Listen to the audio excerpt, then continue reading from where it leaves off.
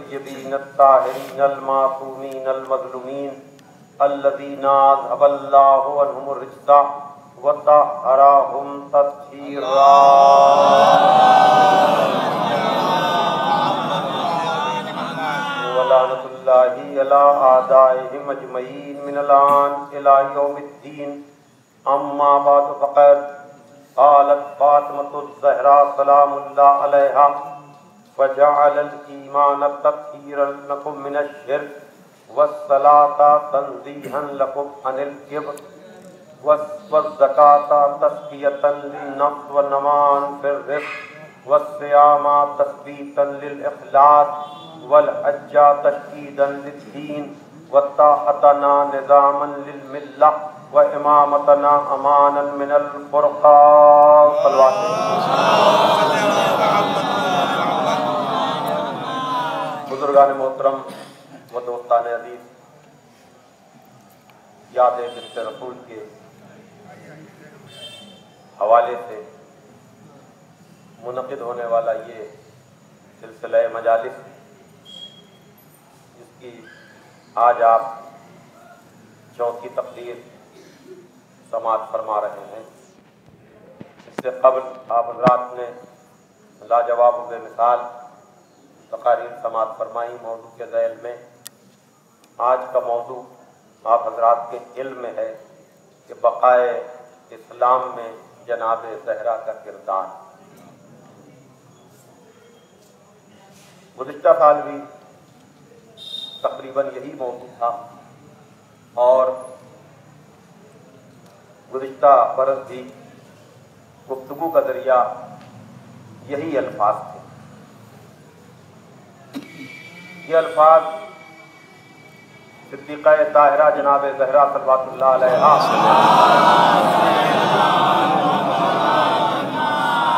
जबान पर जारी होने वाले वो अल्फाज हैं जो आपने मुतालब सदक के मौके पर खुतबा देते हुए इस्तेमाल किए गुज्त साल मेरी गुफ्तु इस हवाले से थी कि आप हजरात के जहनों में करबला का जो भी तस्वुर है, जिससे हर इंसान के जहन में एक तस्वीर उभरती है कि अगर करबला न होती तो इस्लाम न बचता। तो उस हवाले से मैंने कहा था कि चूँकि करबला के लिए रजाए फातिमा की ज़रूरत थी इसीलिए जब बाप ने बेटी से करबला का ज़िक्र किया तो जनाब जहरा ने यह नहीं कहा कि क्या इस्माइल की तरह से मेरा बेटा बच नहीं सकता? बल्कि ये देखकर कि दीन इस्लाम तो मेरा बेटा बचाएगा दीदार कौन बनाएगा? ये गुजश्ता साल की गुफ्तु का खुलासा मैं आपके सामने पेश कर रहा हूँ। इसलिए जनाब जहरा ने सवाल यह किया था कि मेरे लाल पे रोएगा कौन? यानी इस्लामी ही को नहीं बचाया, सच्चे मुसलमान बनाने का ज़रिया भी बता दिया। तो इसका मतलब यह हुआ कि अगर गिरिए पर कोई एतराज़ कर रहा है तो खाली गिरिए पर एतराज़ नहीं है, बल्कि सच्चा मुसलमान न बनाने का यह ज़रिया है। इसलिए कि आप बेहतर जानते हैं कि हमारे यहाँ अब मैं वो दलील दे रहा हूँ जो मैं कहना चाह रहा हूँ, इसलिए कि तमन्नाए मासूम या मासूमा को हर आदमी पूरी तरह से समझ ही नहीं सकता। इसलिए कि आप सब बताएँ कि आपकी इस्लामी मालूम का क्या बड़ा ज़रिया ये मजलिस नहीं है? भाई तो कीजिएगा अगर आप इस हकीकत का इकरार करते हैं कि हमारी मजहबी मालूम का बड़ा ज़रिया ये मजलिस अजा है। तो अगर सहरा ये तमन्ना न करती तो ये फर्श अजा हमें न मिलती। सलवार पौधे मोहम्मद वाले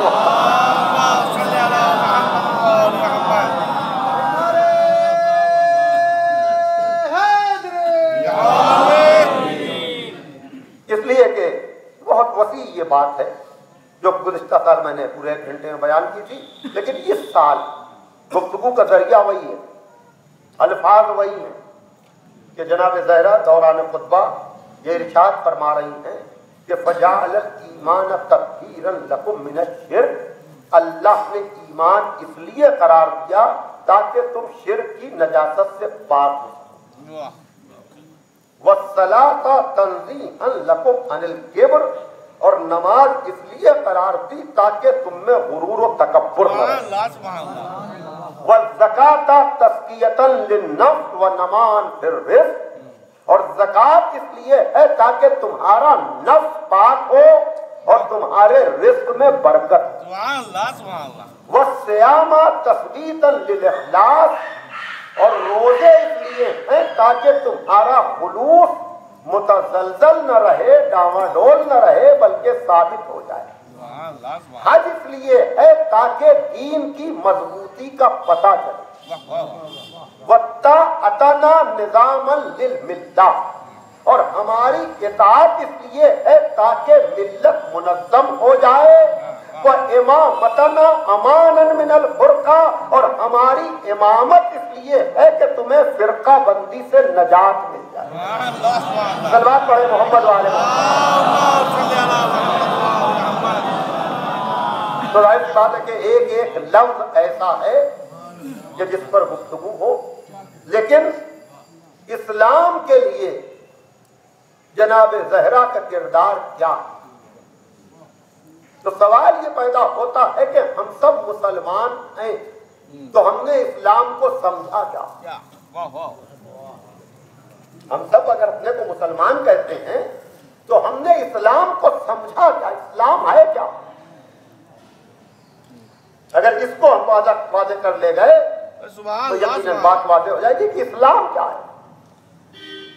इस्लाम नाम है खुदा की हाकमियत को तस्लीम करना। इस्लाम क्या मतलब? अशहदो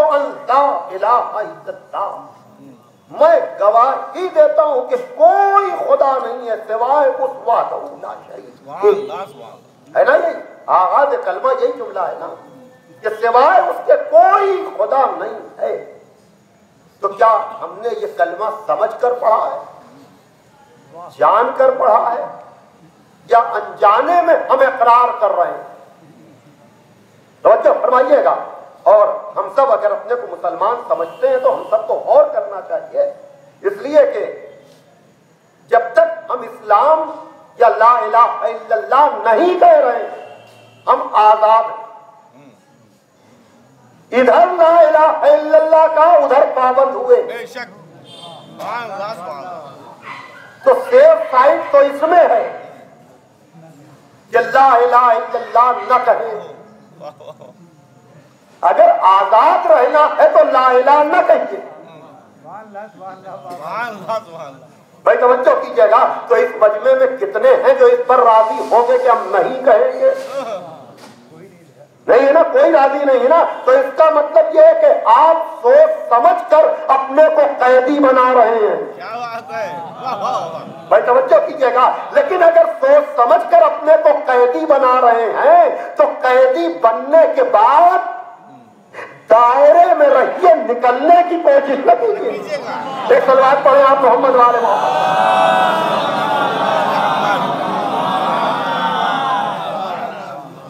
इकबाल ज़ाहिर सी बात है कि हम तो बगैर सोचे समझे कह रहे हैं कि हैं। लेकिन इकबाल जैसा मुफक्र ये कह रहा है कि चुम्मी गुयम मुसलमानम बेलरदम? चुम्मी गुयम मुसलमानम बेलरदम? कि दानम मुश्किलाते लाए लारा। मैं अपने को मुसलमान कहता हूँ तो लरसता हूँ। इसलिए कि मैं जानता हूँ कि लाइला की मुश्किलें क्या हैं। तो बगैर जाने मुसलमान होना और है जानकर मुसलमान होना और। सलवाते के मोहम्मद वाले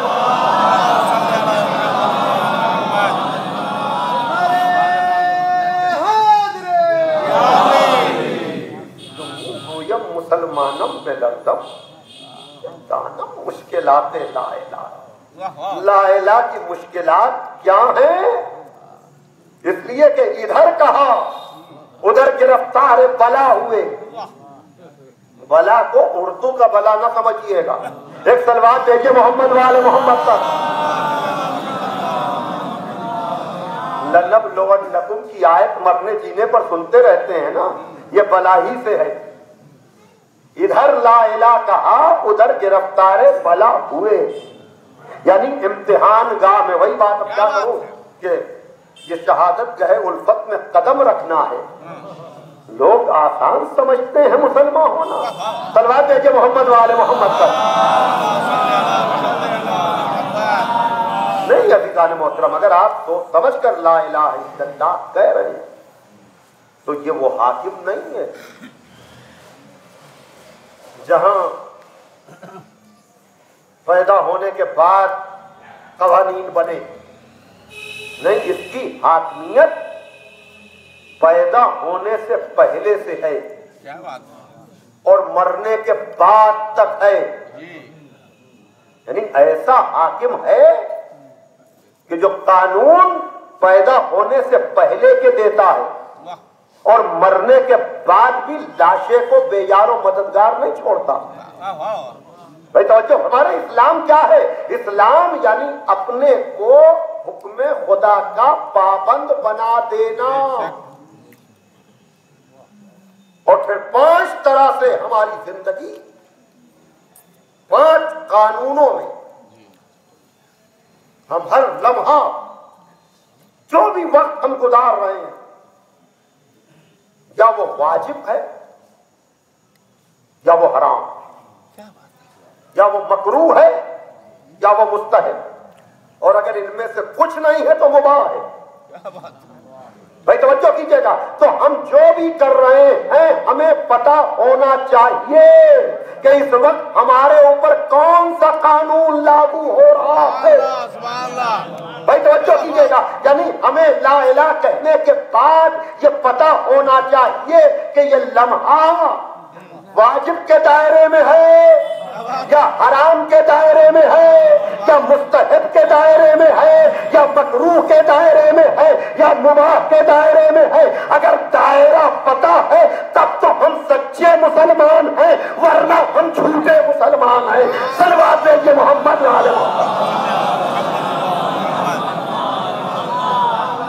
एक और सलवार पढ़े आप मोहम्मद।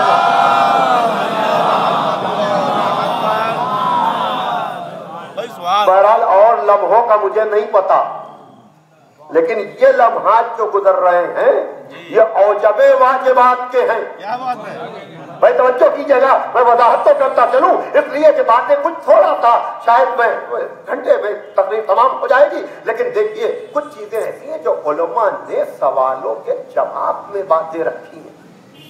मसलन मैं पूरी शरई ज़िम्मेदारी से और हमारे बरदर बुज़ुर्ग इस्लाम वल अली जनाब मौलाना अख्तर हसन साहब कबिला तशरीफ़ फरमा है इनसे मैंने तस्दीक भी चाहिए और मैंने उसका तस्करा भी किया कि मतलब हमारे उसूल दीन जो हम जिनको उसूल दीन कहते हैं, ये नस नहीं है।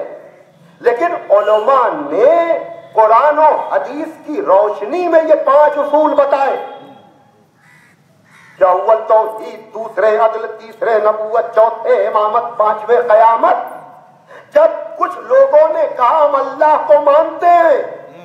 कायल थे तसलीस के। तो हमने कहा हम तोहीद वाले हैं तसलीस वाले? नहीं है। भाई तो की मोहतरम इसी तरह से खत्म नबूत का मसला। इसी तरह से अगर बात नबी के कौल को मान लिया जाता गदीर ही से तवज्जो कीजिएगा। तो कोई बहस और उसमें उसूल दीन में ये सारी चीज़ें वाजे करना लेकिन वो एक बात मैंने कही लेकिन असल में अरकान इस्लाम पाँच है। बहस करके भी जा चुका मस्जिद में लेकिन फिर तो मैंने ये बात कही है कि ये जो लम्हा हम गुजार रहे हैं क्या इन पाँच दिनों में हम जो इन मस्जिदों में आएँगे इसे कोई आदमी खाली मुस्तहब कहकर गुजर न जाए। मैं तो कह रहा हूँ तवज्जो कीजिएगा। इसलिए कि अरकान इस्लाम पाँच है। नमाज़ रोजा हज जक़ात और विलायत क्या बात है? अरकान इस्लाम पाँच नमाज़ रोजा हज जक़ात और विलायत इमाम मासूम कहते हैं चार में रुखसत है पाँचवें में कोई छूट नहीं। मासूम का कौल है यानी चार में छूट है नमाज़ कसर हो सकती है रोजा मरज में माफ़ हो सकता है अगर निसाब पूरा नहीं है तो जक़ात माफ़ हो सकती है। भाई तवज्जो कीजिएगा, लेकिन मोहब्बत ऐसी चीज़ है, न सफ़र में माफ़ है, न हजर में माफ़ है, न कोटे में सलवार के मोहम्मद वाले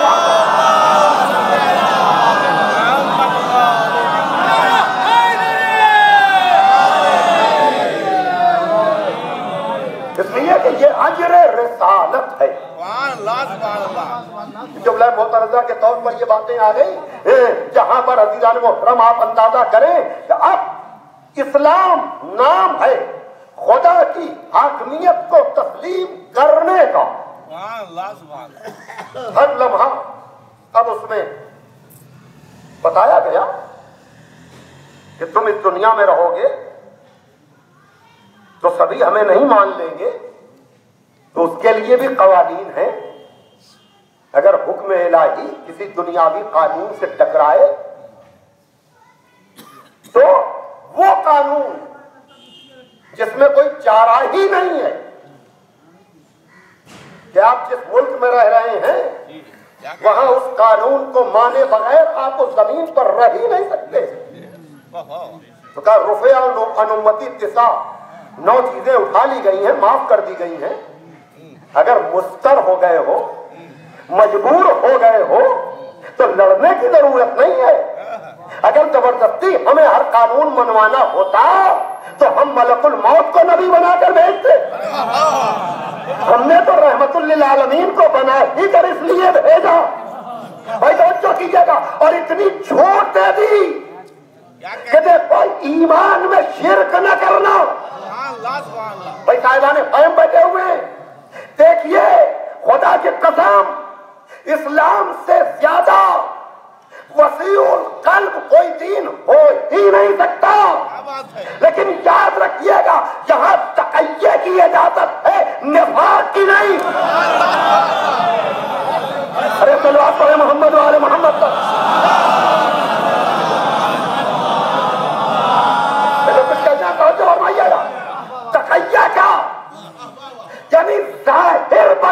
बजाहिर खराब हो, लेकिन दिल में शक न हो, निफाक क्या ज़ाहिर अच्छा हो, दिल में ईमान ही न हो। सलवार दे जो मोहम्मद वाले मोहम्मद।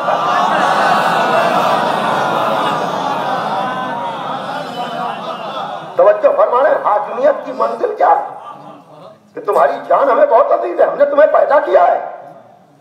तो हमारे जाहिरी अमल पर अमल करने के लिए भाई तवज्जो कीजिएगा अपने जान से न गुजर जाना। लेकिन दिल से हमें भूल भी न जाना। भाई तवज्जो की जाए मोहतरम यानी मैंने ये रुख बयान किए हैं कि कभी कभी ऐसा भी हो सकता है कि चाह कर भी कहीं ऐसा मसला आ जाए तो कहा कि नहीं लेकिन दिल में तुम यही रखना कि हाकमियत अल्लाह की है। हाकमियत अल्लाह की है। तो अब यहाँ पर ऐसी बात है कि हैदर भाई बैठे हुए हैं और भी मुमकिन है वो मुगला हजरात हो। भाई वो मसाइल कम से कम आपस में हल कर लिए जाएँ, ताकि अदालतों का बोझ भी कुछ कम हो। मैं कह रहा तो बच्चे फरमाइएगा कि जहाँ आपको इख्तियार है, हर मसले में अदालत आपको नहीं बुलाती। आप खुद जाते हैं वहाँ जब बात होती है। तो कम से कम उन मसलों को तो खुदा के नाम पर हल कर लीजिए, जहाँ जाने में पाबंदी नहीं है, ताकि कहीं तो पता चले कि अल्लाह को भी मानते हैं आप। सलवाद पौधे मोहम्मद वाले मोहम्मद पर।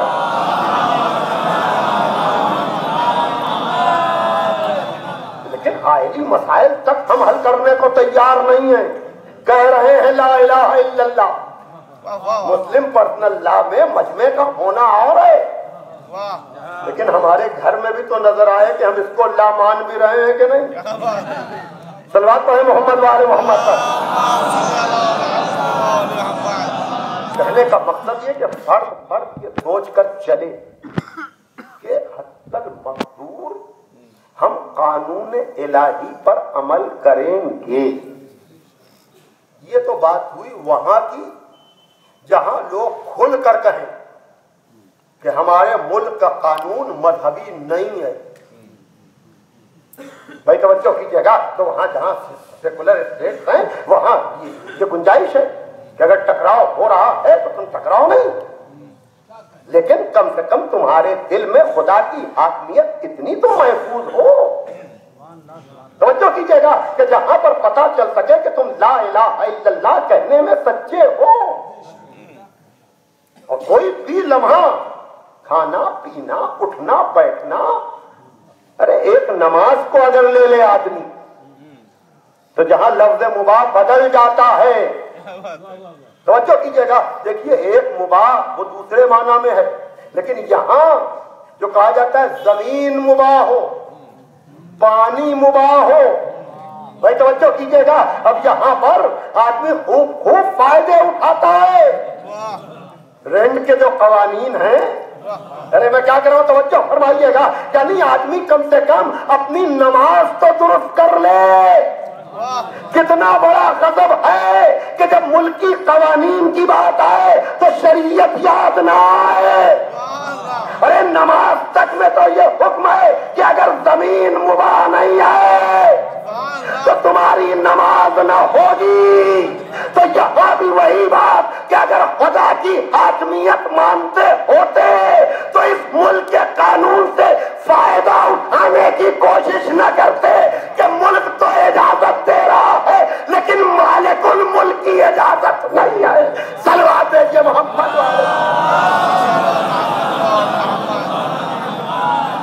एक बाबा ने बड़ा नारे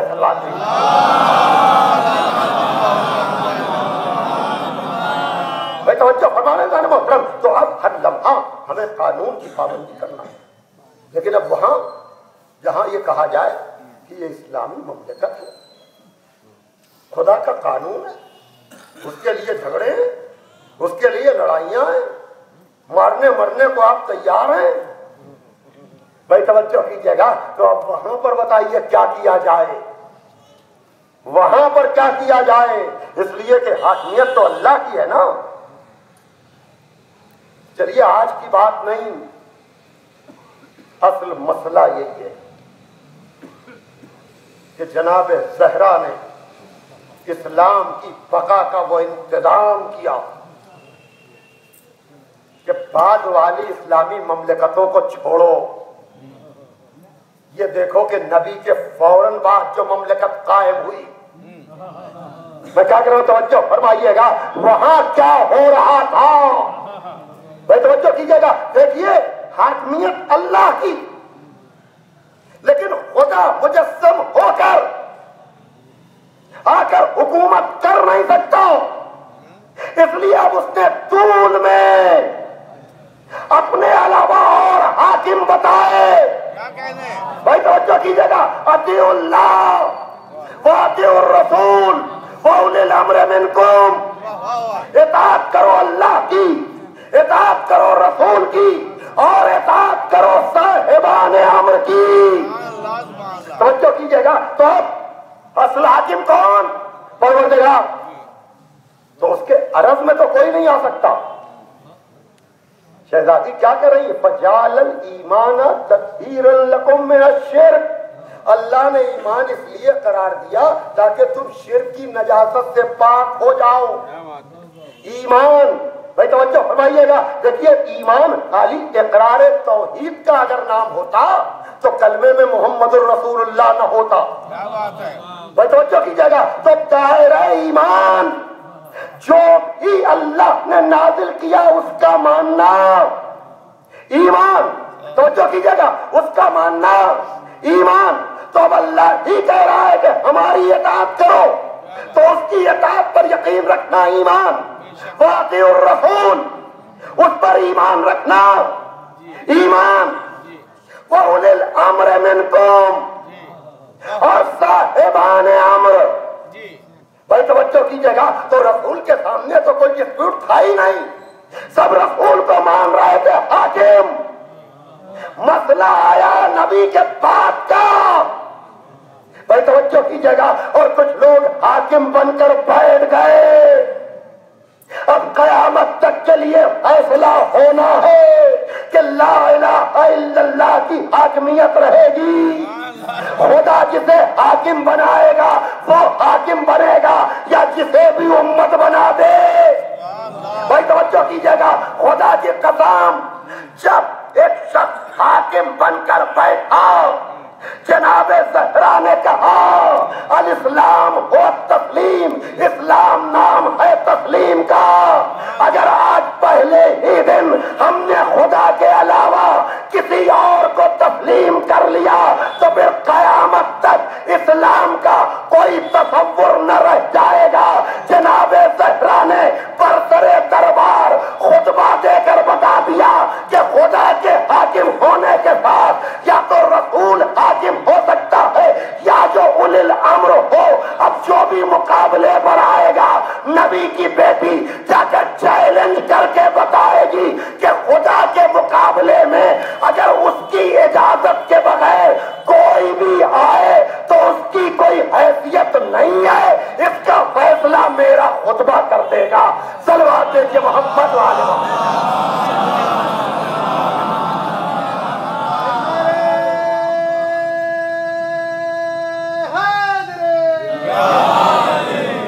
तो फरमाइएगा मोहतरम, अब वहाँ पर आप जरा सा देखें, अंदाज़ा लगाएँ कि जनाब जहरा निकल कर जो जा रही हैं, उसका मकसद क्या है? जनाब जहरा का मैसेज और पैगाम क्या है कि कोई भी आदमी अगर अपने तौर पर, जो हमें मानता ही नहीं है कोई भी कानून बनाए हम जाने वो जाने। तो कीजिएगा। लेकिन अगर मसला ऐसा आ जाए कि खुदा ही के नाम पर गासिब हुकूमत बने भाई तवज्जो कीजिए मेरे मोहतरम तो असल में इनकार पैत यजीद से तो हम वाकिफ हैं। क्या कहने अरे तवज्जो कीजिएगा मोहतरम। लेकिन बुनियाद इनकार बैत भाई, तवज्जो मेरे मोहतरम मैं जो कहना चाह रहा हूँ, भाई, कितने चर्चे हैं इनकार हुसैन के? ये तो करबला तक आते आते सबको पता चला। लेकिन मदीने में इनकार की बुनियाद। भाई, सलवार पड़ेगा मोहम्मद वाले मोहम्मद पर।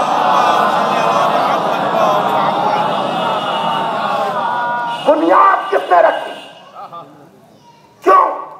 इसलिए कि देखिए, मौला अली तक के लिए किताबों में बहते हैं। भाई तवज्जो कीजिएगा। देखिए, इकलौती इस हिसाब से भी जहरा है। मैं तो कहना चाह रहा हूँ, तवज्जो हमारे मोहतरम। इसलिए कि, यानी ये बहस छिड़ी हुई है किताबों में बड़ी तफसीली। कि बैत अली के लिए लोगों ने, यानी बड़ी बड़ी किताबों में ये बहस है। तो कुछ ने कहा कि नहीं, उसी वक्त हाथ पे हाथ।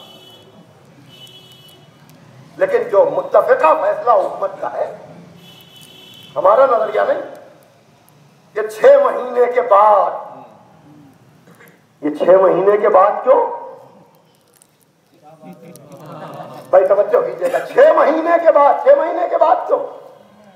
का जहरा के बाद। यानी ये बड़ी बड़ी किताबों में बहस ये है कि अली ने बैत कब की?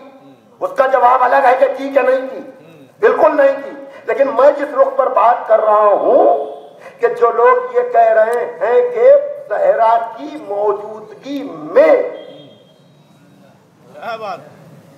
अरे तवज्जो कीजिएगा मौजू का हक अदा होना है? कि बका इस्लाम में जहरा का किरदार क्या है? भाई आपने भी लिखा। कि छह महीने तक बैत नहीं की। क्यों? क्या जहरा की ज़िंदगी में? तो जिस जहरा की रजा के लिए अली बैत न करे। भाई तो की जगह तो ये तो अंडर स्टूड हो गया ना कि जहरा ने बिल्कुल नहीं की। भाई, तवज्जो कीजिएगा। तो इसका मतलब ये है कि नबी के बाद जो पहली हुकूमत कायम हुई, अगर यूनानी मन किसी शख्सियत के लिए पूरी उम्मत मुत्तफिक है, कि बैत नहीं की, वो सिवाय जहरा के। अरे मैं क्या करूँ, तवज्जो कीजिएगा। अब जहरा का मामला ये है कि जहरा जो भी काम करती है, वो फैसला कौन होता है। भाई तवज्जो कीजिएगा। अब यहाँ पर यह भी मसला आप समझ लीजिए कि जहरा कुफोए अली हैं। जो कैरेक्टर जहरा का है वही कैरेक्टर अली का है। भाई तवज्जो कीजिएगा जब जनाब जहरा बैत नहीं कर रही हैं तो अली के लिए भी सवाल ही नहीं है। लेकिन मैं यहाँ पर बात जनाब जहरा के लिए कर रहा हूँ अज़ीज़ आल मुहतरम और फिर जाते जाते कहा कि फैसला ऐसा करूँगी कि कयामत तक फिर तुम सोचना तुम्हारा मुकद्दर। क्या बात है?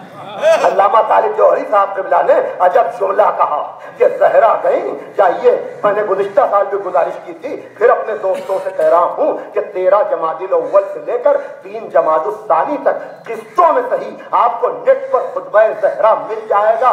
पढ़िए पढ़िए अपने बच्चों को, पढ़ाइए।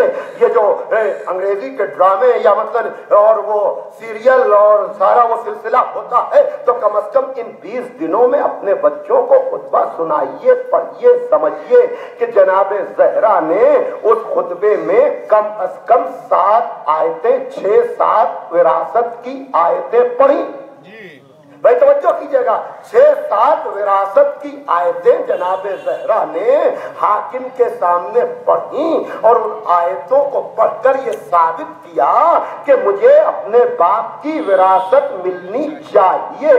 लेकिन जब जहरा ने हाकिम इस्लामी जो बना हुआ था, उसके सामने कुरान पढ़कर ये साबित कर रही थी कि मेरी, मेरे बाप की विरासत मुझे मिलनी चाहिए और हाकिम ने ये कहा कि चूँकि नबी ने ये कहा है हम अंबिया नवारिस बनते हैं।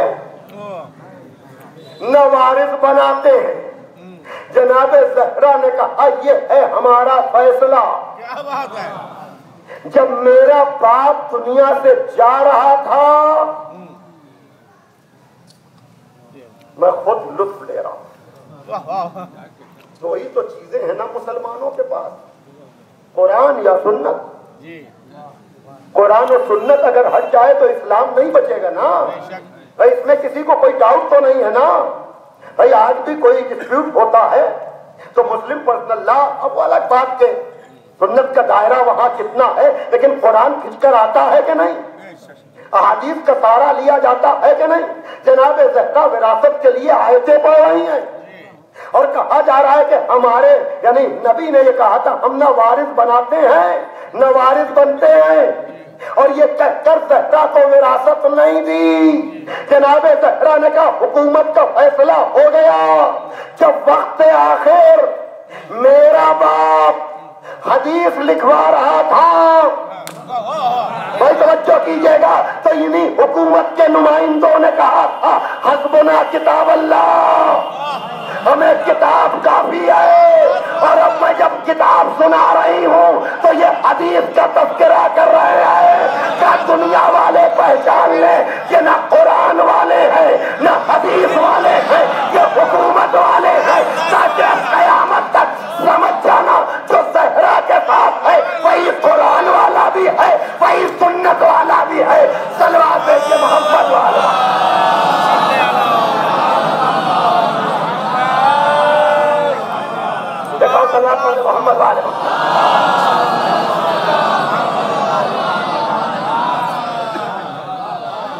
एक मसला और, बस।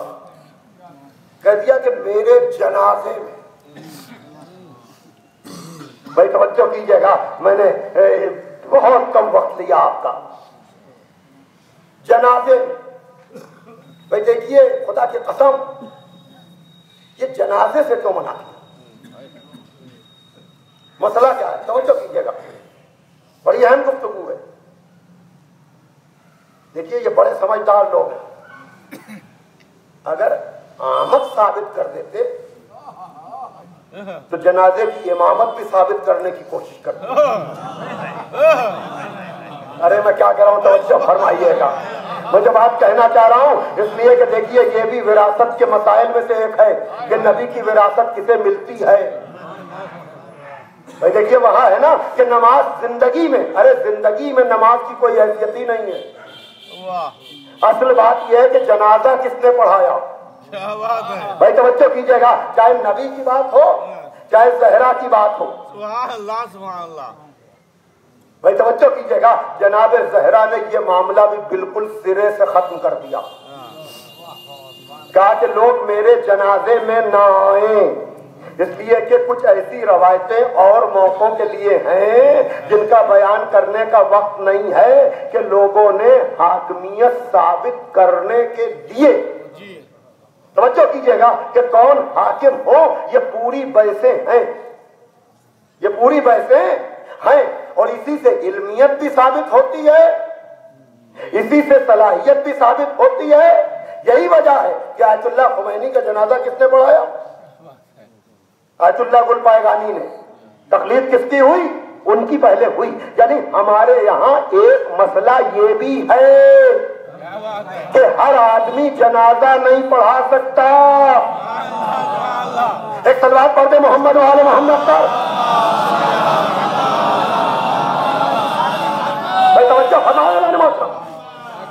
एक सब मिलकर सलवार पढ़े आप।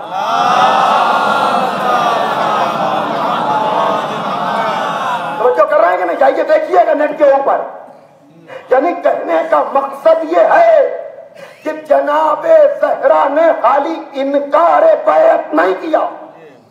अगर इनकार बैत खाली होता तब भी कोई ना कोई रुख निकाल लिया जाता।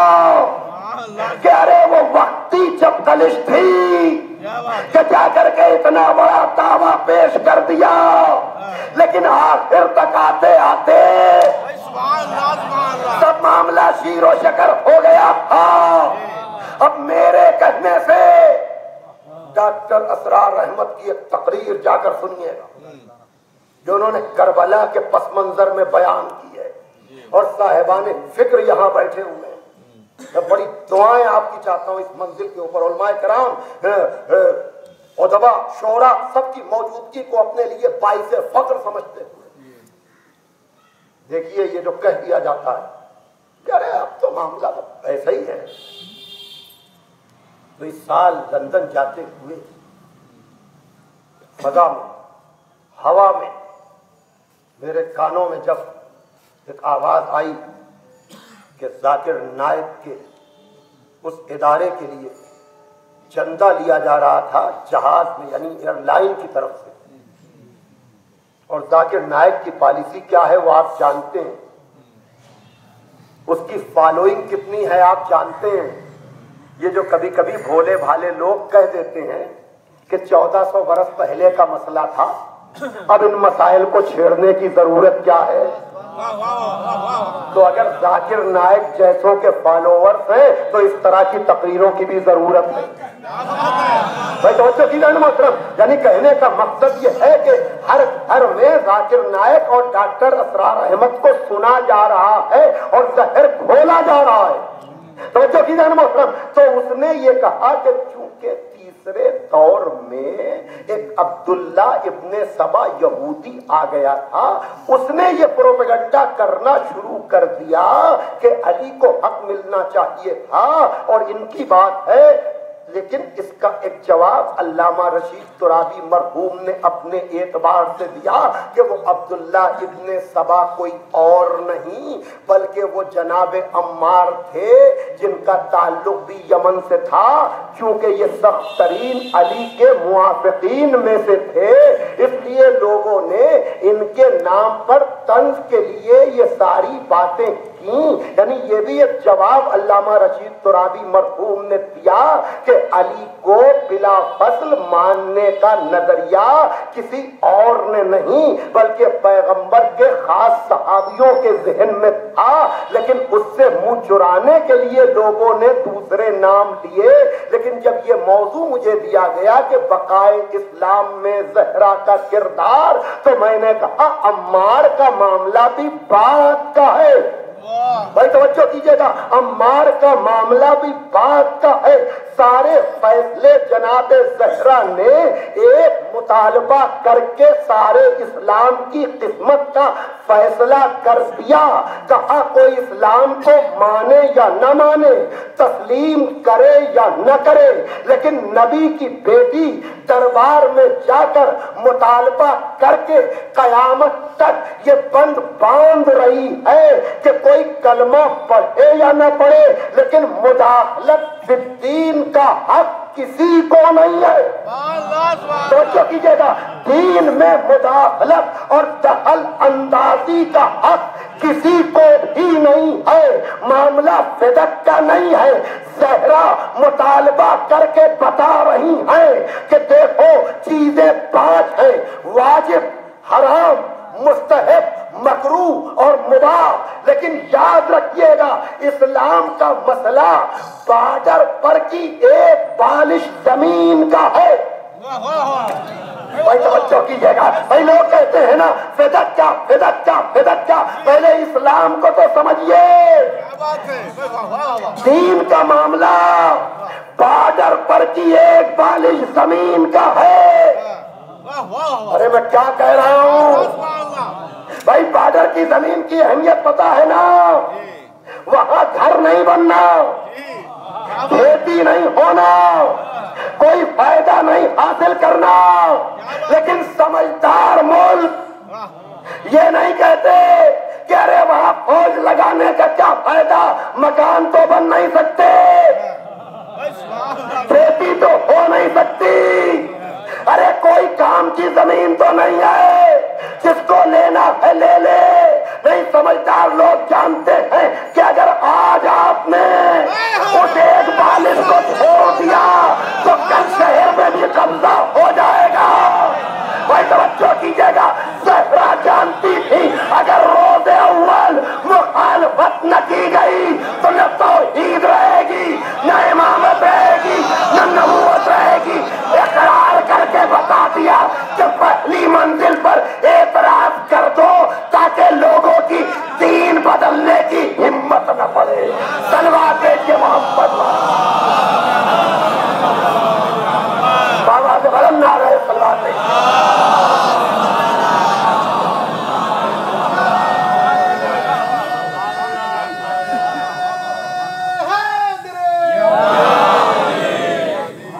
है तो कुछ नहीं वो लेकिन अगर आज यहाँ आप ना रहे तो ऐसा ही है ना? किसी को भी किसी भी उन्वान से मुदाखलत दीन की इजाज़त न दीजिए। वरना आज अगर आप मुबाह समझ कर छोड़ेंगे कल वाजिब पे भी हमला करेगा।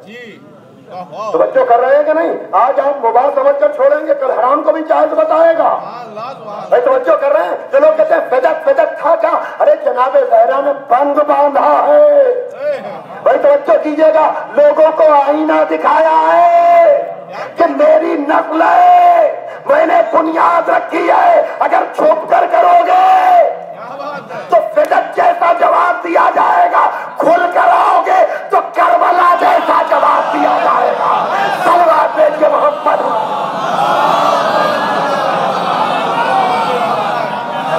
भाई सुभान अल्लाह तवज्जो फरमा रहे हैं और इस हकीकत को समझा इस हकीकत को जाना। शायद मैंने गुजश्ता साल भी पढ़ा हो लेकिन मैं दोहराने का इतना ज़्यादा तकरार से मैं भागता नहीं हूँ। इसलिए कि सच बात को जितनी दफ़ा कहें हरत क्या भाई? एक सलवार के लिए मोहम्मद वाले मोहम्मद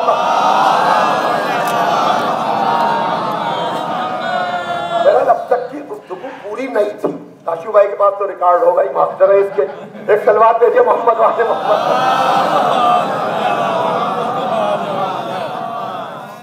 मसला यह है कि इसको मीर तकी मीर ने समझा। कि थी गुफ्तगू बाग फिदक जड़ फसा है? ये गुफ्तगू है बाक सदर जड़ फसाद की जाने है जिसको इल्म है दी के उसूल का। है? भाई तवज्जो कीजिएगा जिसको भी उसूल दीन का पता है वो जानता है कि जहरा ने क्या किया। क्या किया? दावा जो हक शनासी का रखिए सो इस कदर।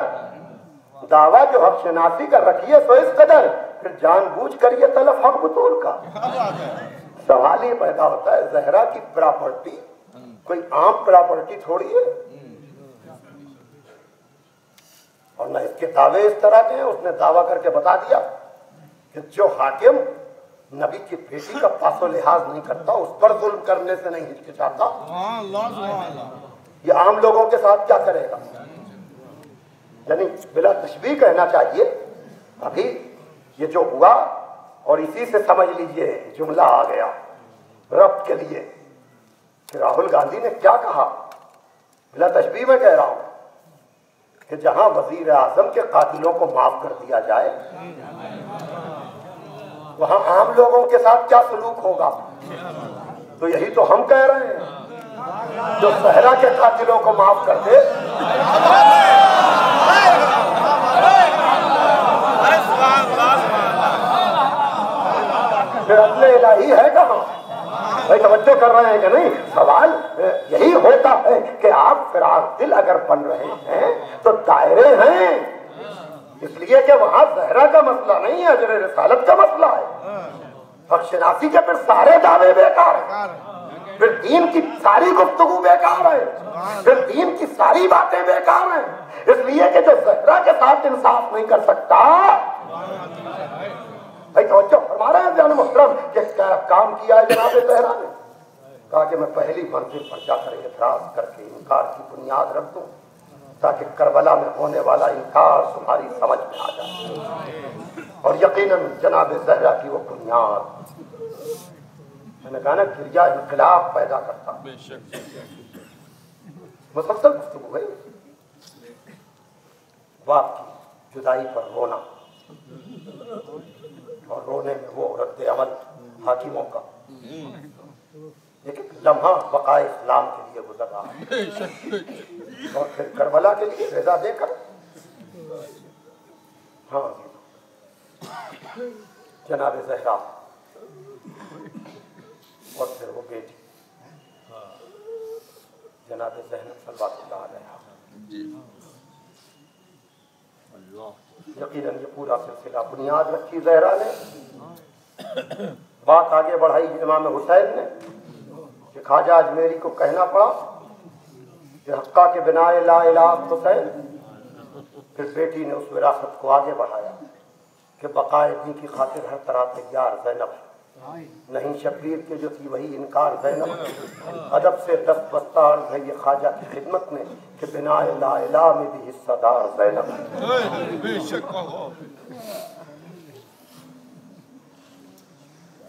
फ़िक्र जनाब जहरा की कि मेरे लाल को रोएगा कौन? तामीर जनाब जैनब लेकिन गिरिया नहीं है। ये बका इस्लाम का दर्जा है, जिसकी तमन्ना जनाब जहरा ने की। रोएगा कौन? वक्त होता तो मैं और कुछ बातें अर्ज़ करता लेकिन आपकी आवाज़ें बुलंद हो गई।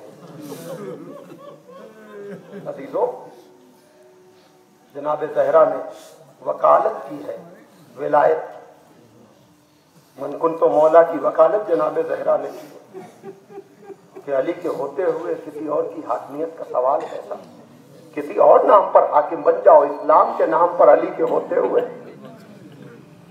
लेकिन जनाब जहरा को उसकी कीमत देना पड़ी। पहलू पे जलता हुआ दरवाज़ा।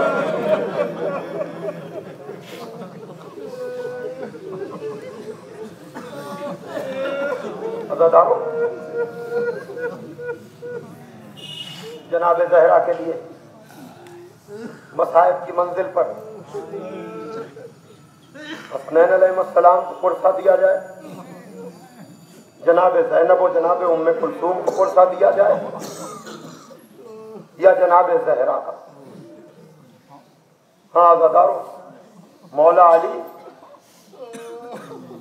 बड़ी सख्त मंजिल है, लेकिन इसमें किरदार जनाब जैनब का, कि जख्मों पर मरहम रखने का काम।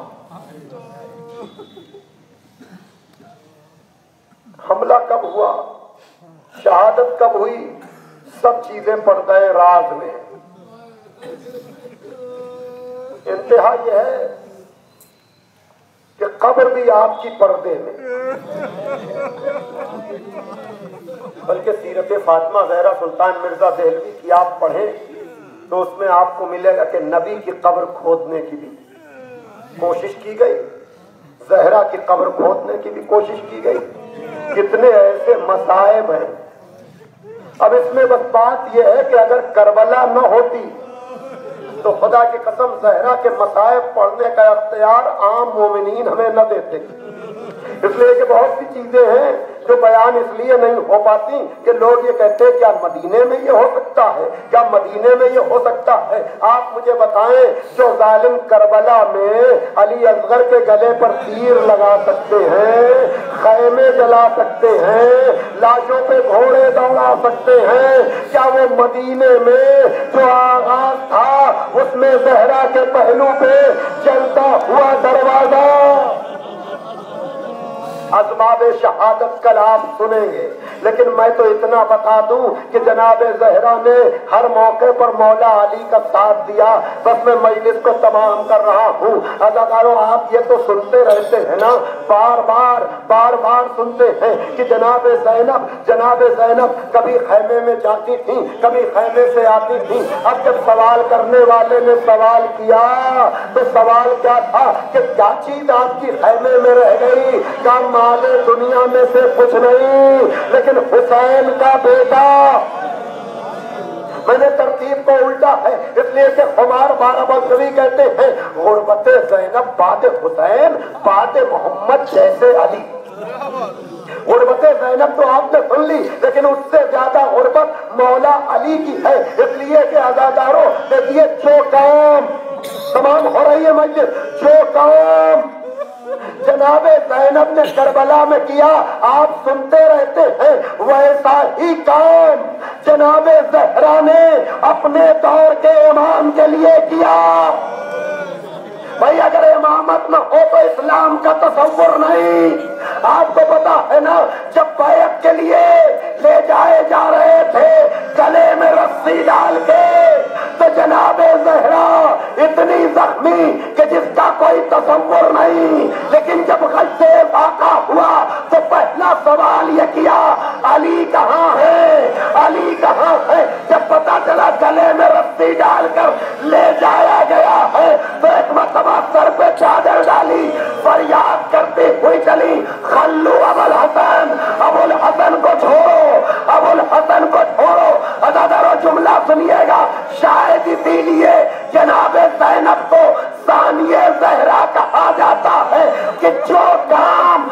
अपने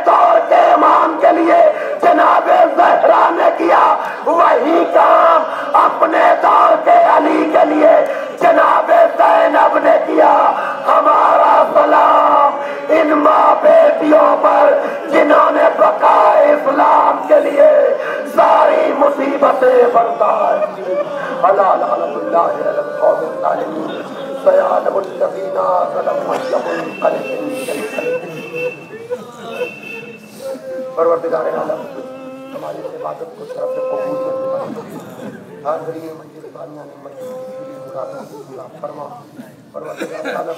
हमें काबिल फरमा।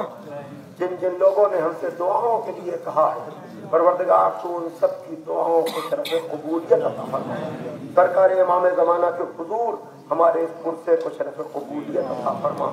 सरकार के जहूर में ताजीर और हमें इस लायक बना के हमारा भी उनके अनुसार आवाज़ अल्लाहुम्मा तकब्बल मिन्ना, इन्नका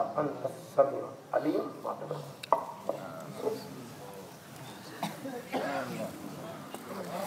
एक बार सुबह हम तो तीन बार सुबह तो ही की तिलावत फरमाकर जुमला बात मोमिन मोमनात को इशार फरमाते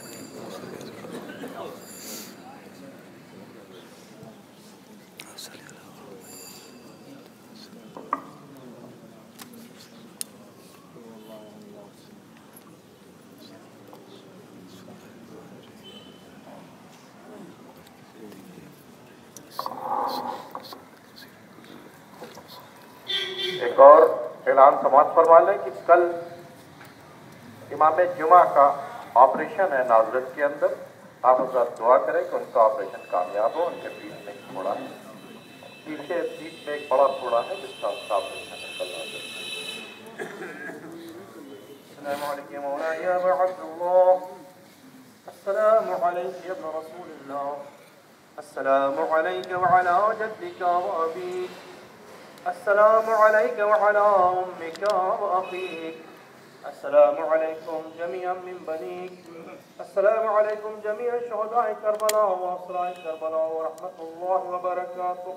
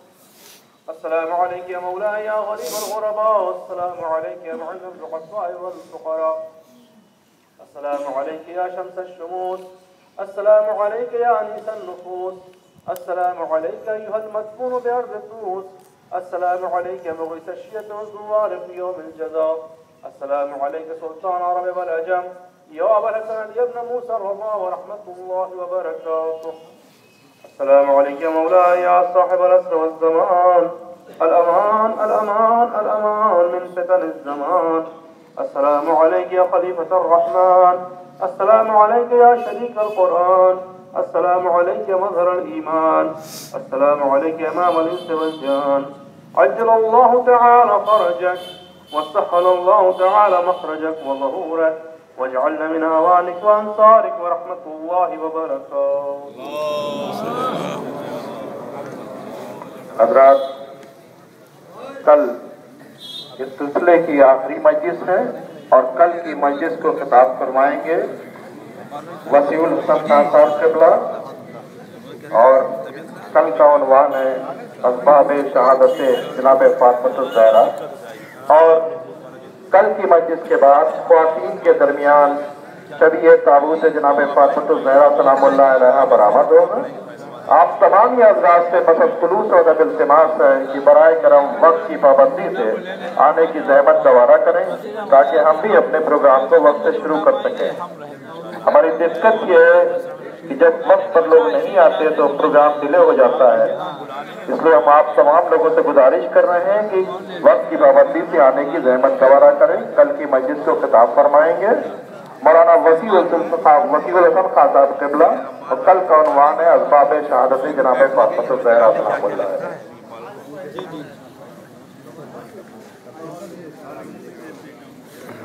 भी जा रहे हैं आप लोग?